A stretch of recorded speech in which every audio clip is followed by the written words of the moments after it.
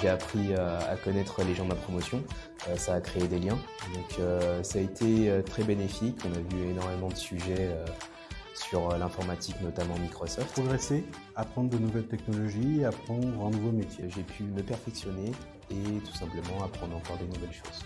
Bah, ça m'a permis de voir des collègues, donc de connaître d'autres technologies, d'avoir les bonnes pratiques par les formateurs SCC sur ce qui est attendu euh, chez les clients. On tourne sur énormément de sujets euh, Microsoft et euh, ça permet tout simplement de se perfectionner ou d'apprendre, pour ceux qui ne connaissaient pas, les technologies Microsoft qui sont aujourd'hui essentielles dans l'évolution actuelle de la société notamment au Covid par exemple, qui a influencé notamment la technologie cloud, qui ont fait évoluer la demande auprès des clients sur ces technologies-là. Il y a eu beaucoup de fou rires, il y a eu beaucoup de rigolades